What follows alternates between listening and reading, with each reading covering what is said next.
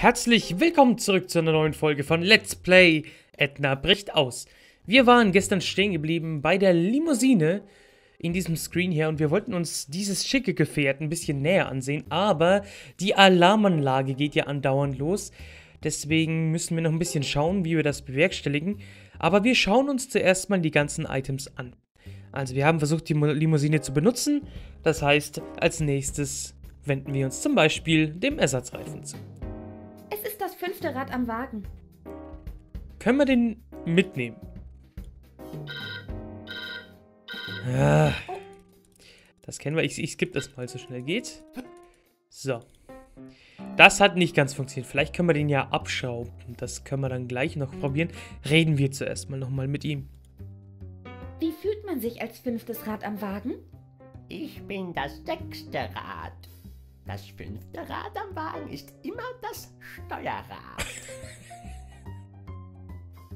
Das ist nicht mal so dumm. Alles klar, gut. Benutzen wird wieder aufs gleiche ausarten. Ja, ist ja gut. Die Alarmanlage, die nervt ein bisschen. Aber gut. So, was haben wir denn hier noch? Scheinwerfer zum Beispiel. Starrt mich das Auto etwa an? Ja, auf jeden Fall. Können wir die nehmen? Alter, das wird es sich jetzt wohl noch ein bisschen hinziehen, bis wir da in irgendeiner Weise sinnvoll weitergekommen sind. So, können wir denn mit denen reden? Starrst du mich an? Was glotzt du denn wie ein Auto? Naja, vielleicht weil es ein Auto ist. So. Der Vollständigkeit halber muss ich natürlich benutzen auch noch machen. Vielleicht können wir die ja einschlagen oder sowas, keine Ahnung, was wir mit den Scheinwerfern anstellen sollen. So, wir haben auf jeden Fall hier noch ein Parkschild. Wofür dieses P wohl steht? Pavian Popo. Dann muss das Dr. Marcells Limousine sein. genau. Können wir das mitnehmen? Dr. Marcel parkt da so dicht dran, dass ich nicht hinkomme. Okay, gut. Vielleicht ja mit ihm reden. Hä? Ja, alles klar. Hier parkt schon wer. Gut. Haben wir denn sonst noch was? Limousine, Ersatzreifen, Scheinwerfer, Scheinwerfer.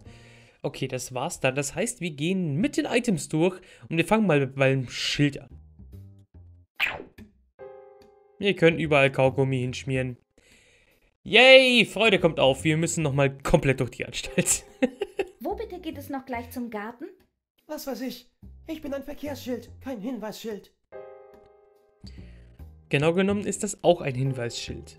Aber gut. Wo bitte geht es noch gleich zur Garage? Was weiß ich? Wo bitte geht... Was weiß ich? Das kann jetzt ein bisschen dauern. Das sind immer die gleichen Sätze. Die Botschaft ist mit einem Geheimcode verschlüsselt. Oh, Wofür steht nur dieses P? haben wir doch schon rausgefunden. Pavian Popo. Wo bitte geht es noch gleich zur Küche? Was? Ja. Ich würde gern, aber ich komme nicht näher ran. Die Okay. Walkable Area Map ist hier zu Ende. Schön. Gut, hier weiß sie nicht, was sie machen soll. Alles klar. Ja, wir kommen nicht mit dem Fußnagel ran, aber mit dem Stift, um drauf zu unterschreiben. Das ist natürlich wunderschön. Das sind Druckbuchstaben, wie man sie in jeder Buchstabensuppe bekommt. Okay, zu Deutsch, die müssen wir nicht fälschen können, die können wir schon. Die Botschaft ist mit einem... Ge? Gut. Wo bitte geht es noch gleich zum Wäsch... Was weiß ich? Da weiß sie auch nicht, was sie machen soll. Ich hatte kurz Angst, dass sie sie wieder voll dagegen klatscht und wir gleich nochmal laden dürfen. Aber okay. Auch hier weiß sie nichts. Wir können es sogar einschneiden. Ey, das ist ein Verkehrsschild. Das ist doch aus Blech zumindest, oder? Oh Mann. Steht das P für Payphone? Nein. Rate ruhig weiter. Oh Mann.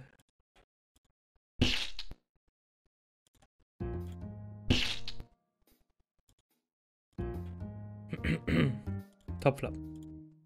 Ich würde gern, aber ich komme nicht näher ran. Die Walkable Area Map ist hier zu Ende. Wie gesagt, aber mit der Schere hinkommen und mit dem, mit dem Stift. Das ist äh, sehr unrealistisch. Hier gabeln sich unsere Wege. würde gern, aber ich Schlitz. komm die Ach Walkable so. Ach so, mit dem Messer kommst du nicht an, aber mit der Schere, natürlich. Ich bin Inspektor und keine Politesse.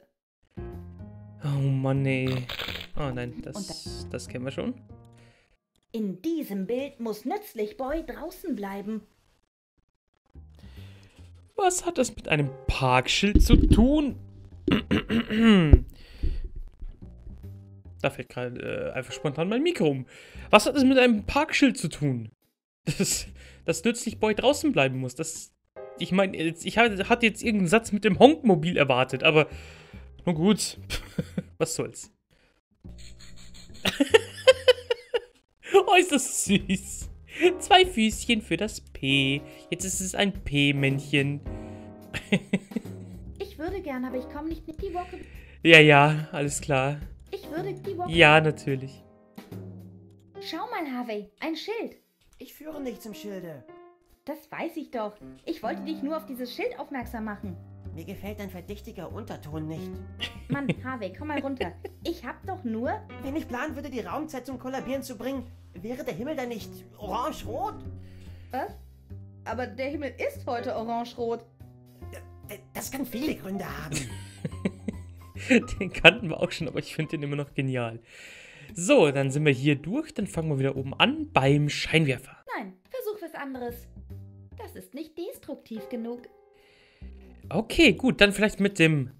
Äh, mit, mit dem Rechen, wollte ich sagen. Mit der Harke. Oh. Oh. Wir haben ihn echt eingeschlagen.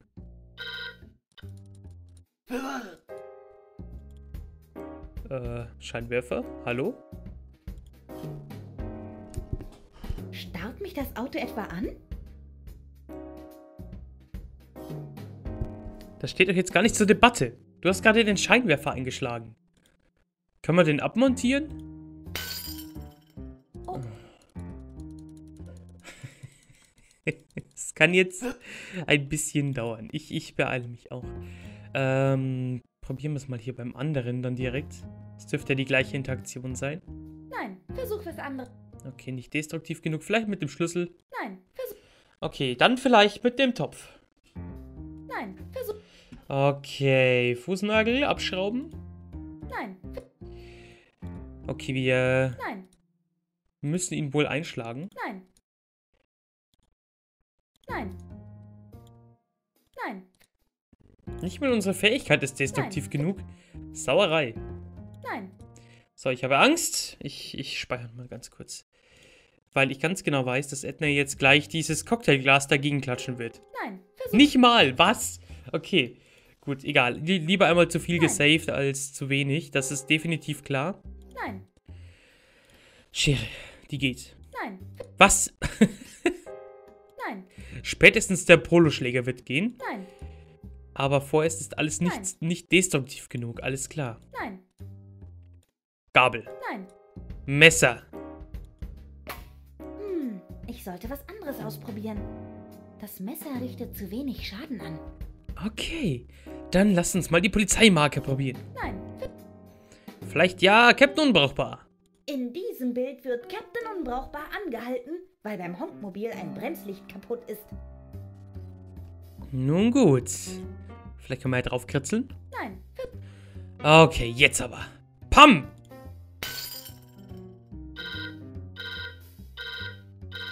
oh oh. Gut. Jetzt sind schon mal beide Scheinwerfer eingeschlagen. Aber irgendwie.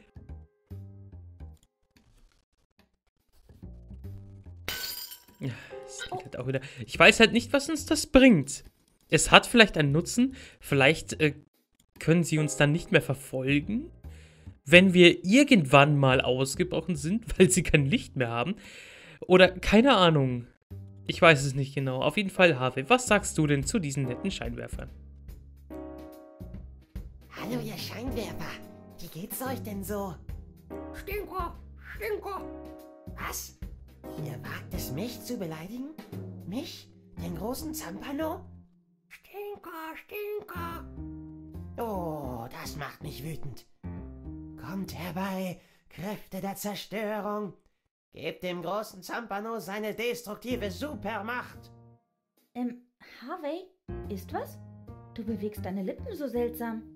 Was? Ach, nein, nein. Alles in Ordnung. Du wolltest mir was zeigen?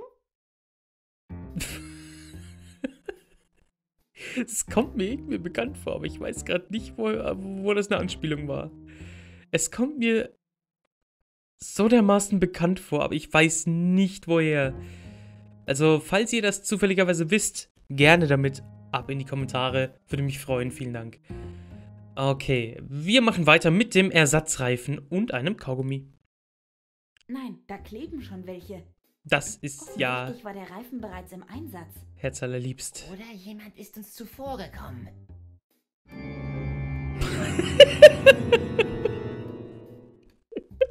Ich wollte gerade. Gerade. Dam, dam, dam. Einwerfen. Ich wollte es gerade machen. Aber das Spiel war schneller. Schön. Moment mal. Da sind ja schon Rillen drin. Irgendwer ist mir zuvorgekommen. Dam, dam, da. So, das probieren wir zum Schluss, weil ich glaube, wir können ihn abmontieren. Aber das werden wir erst zum Schluss probieren. Ich sollte eine Werkstatt aufmachen. Ja, immerhin haben wir schon Starthilfekabel, einen Schraubenschlüssel und einen potenziellen Ersatzreifen. Stimmt. Dieser Schlüssel ersetzt die meisten anderen Schlüssel. Aber keinen Schraubenschlüssel. Oh, ist ja gut. Schrei mich nicht so an. Ich glaube, es ist richtig, dass wir mit dem Schraubenschlüssel hier hingehen. Ich bin mir aber nicht ganz sicher. Das könnte nur ein ganz dezenter Hinweis gewesen sein. Oh, grausame Welt. Zu groß der Ersatzreifen, zu klein der Topf. Zu sinnlos die Idee. Ach was? Gummikochen ist doch immer lecker. Mit den Fingernägeln komme ich gut in die Rillen.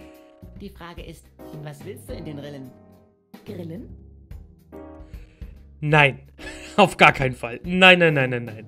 Uh -uh. In der Therapie fühlte ich mich auch wie das fünfte Rad am Wagen. Aber, aber Edna, das ist doch das sechste Rad am Wagen. Äh, Quatsch, hier. Unterschreiben. Mist. Der Stift schreibt nicht auf Gummi. Was? Nicht mal auf Gummi. Was ist das für ein schrecklicher Kugelschreiber? Mist. Der Stift. Der müsste zumindest halten, aber leicht wegwischbar sein. Ich komme drauf zurück. Man kann ja nie wissen. Vielleicht brauche ich später die Unterschrift von Herrn Goodyear.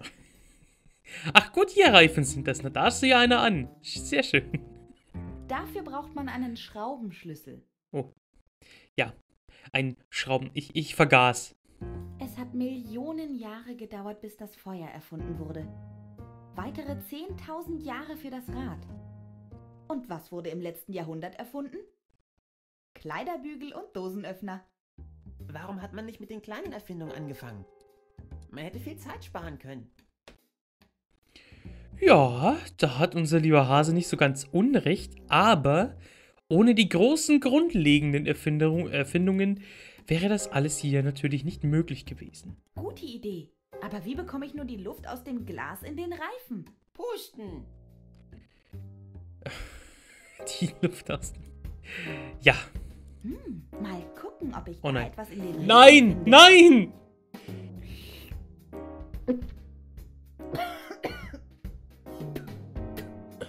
Hm, nichts als Sandstaub und Kiesel. Oh, halb so schlimm. Ich dachte gerade. Oh, Gott. Der Ersatzreifen steht nicht auf der Karte. Ich habe trotzdem einen bekommen. Das Leben ist ein Flaschengeist und du hast raue Hände. So wie es aussieht, kriegen wir diesen Autoreifen tatsächlich für unser kleines äh, Automobil in der Garage. Eventuell könnte da was Wahres dran sein. Aber vielleicht können wir ihn jetzt auch einfach aufschlitzen. Da sind noch ein paar Zickzackmuster zu wenig drin. Oh oh, hoffentlich hat das keine negativen Auswirkungen auf unsere Flucht. Sie hat es halt wirklich getan. sie, sie. Gut, wir haben gerade unseren Reifen, den wir für unser Fluchtauto benötigen, mit einem weiteren Zickzackmuster versehen. Klar.